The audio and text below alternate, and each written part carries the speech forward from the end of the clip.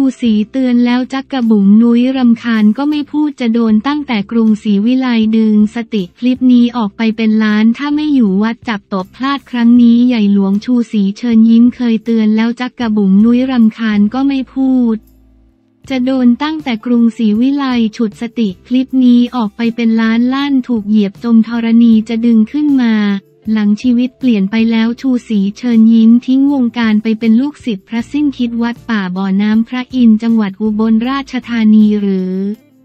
หลวงตาสินทรัพย์ทิ้งงานวงการไปเข้าทางธรรมนั้น อ่านข่าวหม่ำนุ้ยรวมพลศิลปินตลกร่วมงานเตะบอลหาเงินช่วยเด็ก พูดถึงจักกระบุ๋มพีกอีกแล้ว อ่านข่าวกรรมนั้นสนองตักสิริพรโพสต์เจ้าหนี้อีกราย จักกระบุ๋มโผล่แจ้งความลั่นน้องคนดีอ่านข่าวมึงยังถามอีกเหรอค่าอะไรหม่ำจกมกเดือดทวงลั่นค่าปูพีกปลายสายเป็นใครอ่านข่าวจักกระบุ๋มขอพิจารณาตัวเองเลิกใช้ เชิญยิ้ม เปิดยอดหนี้ทงหมด หลังบอกต้องจ่ายรายวันสี่หมื่นอ่านข่าวเสียใจผิดหวังมาเยอะนุ้ยเลยความโกรธจักกระบุ๋มเผยปมยืมเงินลั่นมีตลกสามคนที่ผมยังเคารพล่าสุดเกิดเรื่องราวจักกระบุ๋มเชิญยิ้มสะเทือนวงการตลกทำเอาชูสี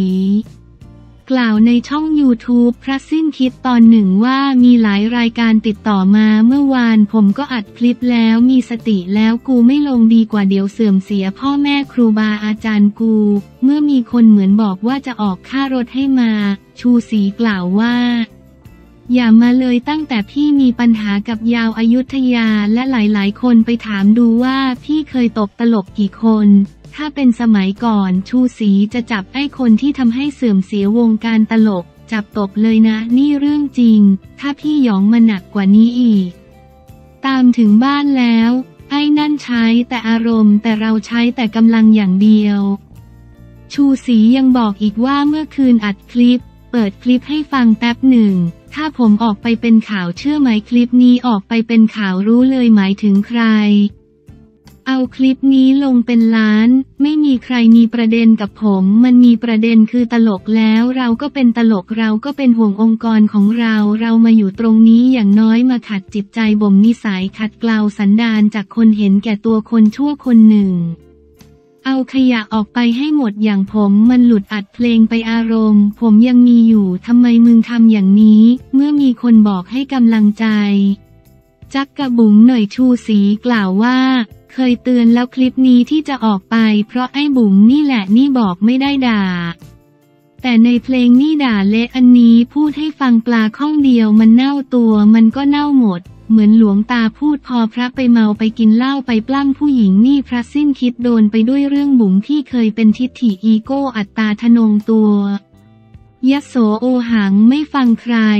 ตลกทุกคนอ้าปากมา ไอ้สีเห็นลิ้นไก่หมด ไอ้บุ๋มมันจะโดนตั้งแต่พี่เอ็ดกรุงศรีวิไลแล้วเพราะปากไม่ดีไม่ฟังผู้ใหญ่สอนอะไรไม่ฟังกินเหล้าเล่นตลก ผมเคยเป็นมาก่อน พอฝึกตรงนี้ แม้มึงไปบวชยังไงจิตใจมึงถ้ายังคล่องอยู่ไม่มีทางผ้ากาสาวพัดเอามึงไม่อยู่หรอก ถ้ามึงไม่ใช้อานาปานสติพี่จะบอกให้ไอ้น้องมันเรียกผมพ่อนะ ผมเคยเตือน ถ้าชูสีไม่ได้เข้ามาในวัดตลกกวนตีนชูสีตบหมด แต่ไม่ใช่รุ่นที่โน้ตที่เป็ดนู่นไม่กล้ารุ่นน้องๆ นี่ตบหลายตัวแล้ว ถ้าเราไม่ตบคนอื่นตบไงชิงตบก่อนตบเซฟฟังให้ดีไม่ใช่อันธพาลตลกมันยังมีอีกเยอะที่หลงสำคัญตัวมันก็เคยมามาเล่นตลกแล้วก็เมา ก็ไหลเราไม่เคยว่ามันแต่คนรอบข้างเขารำคาญมันก็ไม่เคยรู้ตัวนะ ขอพูดเลยดีกว่าไอ้นุย้ย เชิญยิ้ม ตัวรำคาญแต่ไอ้นุ้ยมันก็ไม่พูดไอ้นุ้ยเด็กดีมาก เปลี่ยนนิสัยใหม่ขัดเกลาสันดานตัวเองเข้ามานี่ ทีแรกบอกเข้ามาจะถีบให้ตกหน้าผา แต่ตอนนี้มึงเข้ามาบ่มนิสัยกับชูสีสงสารเดี๋ยวมึงกับกูผูกขาด้วยกัน ตื่นตีสี่มาบินทบาทด้วยกัน ขอให้มาอยู่ให้ได้ตอนนี้มีแต่คนซ้ำเติมแล้ว เมื่อวานตลกไปเตะบอลวันเกิดกิฟโคคูนทุกคนเลย นินทาไอ้บุ๋มกันหมดพอ ผมอัดคลิปปุ๊บเอ้าทุกคนด่าหมดแล้ว กูจะไปซ้ำเติมมันทำไมให้กำลังใจมันดีกว่า ถ้าได้ยินนะมาวัดป่าบ่อน้ำพระอินมาหาพ่อนี่พ่อคนนี้จะดัดนิสัยมึงเอง มึงอย่าคิดว่าพระสิ้นคิดไม่รู้ในโลกใบนี้ พระสิ้นคิดรู้หมด ใครเป็นคนยังไง เองอย่าลืมเองพลาดครั้งนี้ยิ่งใหญ่ใหญ่หลวงมาก เพราะพลาดมาหลายครั้งแล้ว มาจะสร้างโอกาสให้มึงมึงจะโดนเหยียบย่ำจมธรณี เดี๋ยวจะดึงขึ้นมาเราคือสิทธิพระสิ้นคิด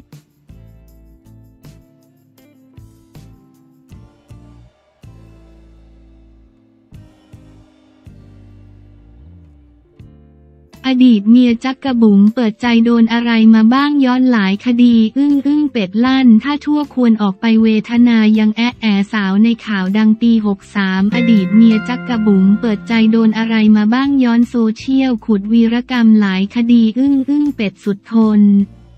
ถ้าประพฤติชั่วควรออกจากเชิญยิ้มเวทนายังโพสแอะแอเคยเป็นข่าวดังเมื่อปี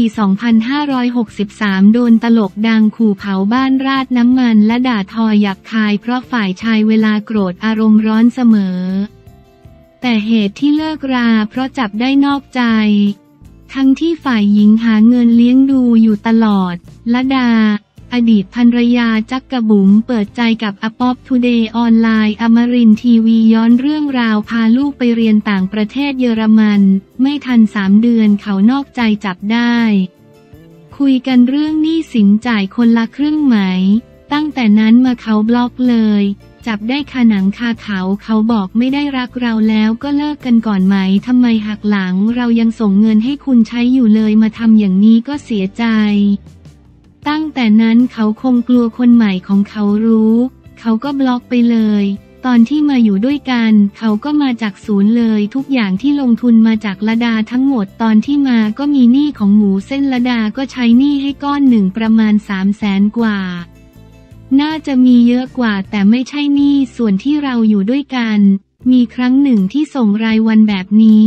แต่เขาบอกว่าเป็นแชร์เราก็ส่งให้เขาแสนกว่าบาท แต่มารู้ทีหลังว่าเขากู้เงินรายวันนี้เอาไปจ่ายค่าเทอมลูก ซึ่งตอนนั้นเราไม่ค่อยรู้ลึกอะไรเท่าไหร่ บางครั้งเวลาทะเลาะก็เงียบหรือโวยวายทะเลาะตีเขาโมร้ายมีผู้ใหญ่ในวงการได้ยินได้เห็น เมื่อถามถึงข่าวที่เขาไม่คืนเงินแม่ปูนา รู้สึกยังไงละดาตอบว่า นึกถึงตัวเองที่ตอนนั้นต้องใช้หนี้แทนเขาใช้หนี้รายวันหนี้ที่ไม่ได้จ่ายค่าแรงลูกน้อง นึกถึงตัวเองและสงสารแม่ปูนา ถามว่าตอนนั้นต้องจ่ายเยอะแค่ไหนละดาตอบว่า เยอะครั้งหนึ่ง เขาบอกมึงซื้อชีวิตกูไม่ได้เหรอ วันนั้นคือเอาบ้านหลังที่ทำร้านอาหาร ไปจำนองได้มาล้านหนึ่ง ใช้หนี้ไป 8.5 แสนก็บอกว่าพอแล้วนะ อย่าทำอีกเพราะจะไม่ทำให้แล้ว เมื่อถามว่าอยากฝากอะไรถึงจักกระบุ๋มหรือไม่ละดาตอบว่า ไม่ค่ะ เพราะเขาเอาตัวรอดได้ทุกครั้งอยู่แล้วอปอปทูเดย์ออนไลน์ยังขุดวีรกรรมที่เคยเป็นข่าวเป็นคดีในอดีตของจักกระบุ๋มอาทิ ปี 57 สาวโคโยตี้ แจ้งความจับว่ากักขัง หน่วงเหนี่ยวอนาจาร แต่เจ้าตัวปฏิเสธทุกอย่างบอกไม่อยากพูดมาก จะถูกหาว่าไม่เป็นลูกผู้ชายปี 56 พิธีกรสาวแจ้งความจับโดนกระชากคอเสื้อด่าหยาบคาย และเอาโทรศัพท์ส่งข้อความหาเจ้านายขอเงินสี่ล้าน และให้ปลดพิธีกรสาวออกจากงาน ไม่พอใจตีตัวออกห่างและแฉตลกดังยืมเงินไม่คืนปี 59 เจ้าของเพลงฮิตอิจฉาแจ้งความตลกดังโทรข่มขู่ท้าต่อยขณะจักกระบุ๋มแถลงโต้นักร้องหนุ่มก็มีเจ้าหนี้บุกมาทวงเงินตลกดังอีก เป็นต้น ขณะที่เป็ดเชิญยิ้ม เผยว่าสร้างเชิญยิ้มมา 44 ปีด้วยหยาดเหงื่อความลำบากกว่าจะเป็นตำนานตัวเขาเองต้องพิจารณาตัวเองวันที่เราเปิดโอกาสให้เขามีอาชีพ มาขอใช้ในวันนั้นเราไม่นึกว่าเขาจะเป็นวันนี้ เหมือนเขาอยู่ในบ้านหลังหนึ่งวันนี้ ถ้าเขาประพฤติตัวชั่วเขาควรจะขอออกจากบ้านอยู่ที่ตัวเขาบางอารมณ์ ผมยังโกรธเขาเลยนะ เมื่อก่อนไอ้บุ๋มก่อนเข้าวงการเขาก็เป็นเด็กที่น่ารักคนหนึ่ง ใสน่ารัก ตอนหลังพฤติกรรมเขาสอนในสิ่งที่เลวร้ายมากที่สุด เราก็รู้สึก วันนี้เราเห็นคำโพสต์ของเขาวันนี้ยังแอะแอะยังสบายสบายไม่ทุกข์ไม่ร้อนเรารู้สึกเวทนา มันทำมานานฝังลึกเข้ากระดูกมาแล้วมั้ง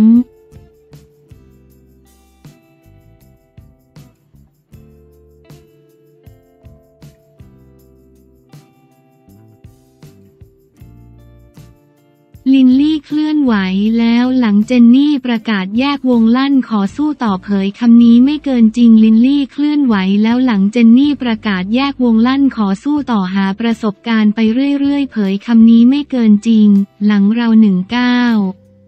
มีคนรอทำเท่าเสมอหลังประกาศข่าวช็อกเมื่อเจนนี่รัชนกสุวรรณเกตหรือเจนนี่ได้หมดท่าสดชื่น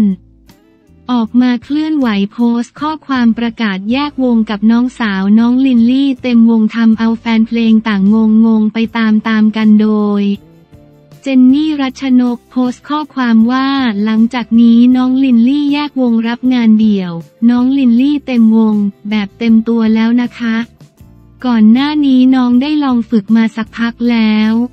สำหรับเจนนี่ถือว่าเก่งมากๆ ฝากทุกคน support น้องด้วยนะคะ ปีนี้น้องอายุ 20 ปีแล้วถึงเวลาที่น้องต้องเรียนรู้และโตเป็นผู้ใหญ่เต็มตัว เจนนี่เชื่อในความสามารถและศักยภาพน้องส่วนใครอยากเจอเจนนี่ก็ยังสามารถติดต่อ เจนนี่เต็มวง ได้เหมือนเดิมนะคะ ส่วนงานที่รับไว้ยังไปเหมือนเดิมจ้าแล้วเจอกันนะคะ หลังจากนั้นมีแฟนคลับจำนวนมากเข้ามาให้กำลังใจ พร้อมสอบถามว่า จะได้ออกงานคู่กันอีกไหม ชอบเวลาแสดงด้วยกันครับ เจนนี่มาตอบกลับว่า ให้น้องได้เดินเองสักพักอนาคตเวลาผ่านไป